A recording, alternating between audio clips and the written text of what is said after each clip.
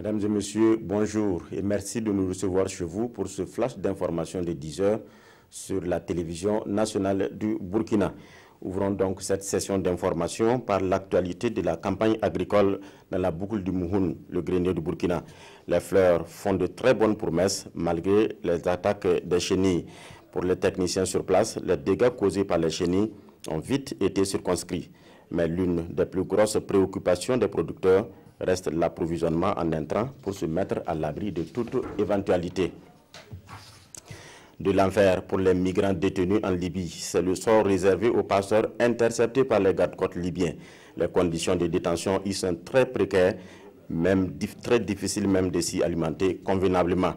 Les gardes-côtes affirment avoir arrêté 500 migrants en mer en ces trois derniers jours. Beaucoup ont poursuivi leur route sur des bateaux de fortune. Objectif, croiser la route d'un bateau de secours européen. En Afrique du Sud, Jacob Zuma a échappé belle à une nouvelle motion de défiance. Les députés ont donc voté hier contre cette nouvelle motion de défiance visant à renverser le président sud-africain.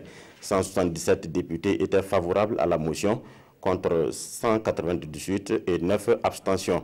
Pour passer, la motion devrait recueillir au moins 201 voix.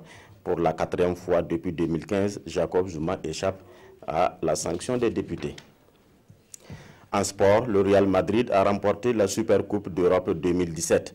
Hier soir, les Madrilènes ont battu les Anglais de Manchester United par deux buts à un. Isco et Casemiro ont marqué les buts espagnols contre celui de la réduction du score de Romelu Lukaku.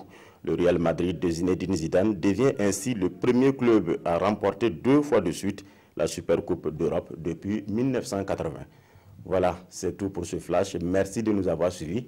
L'information revient à 13h avec Godefroy Bazier.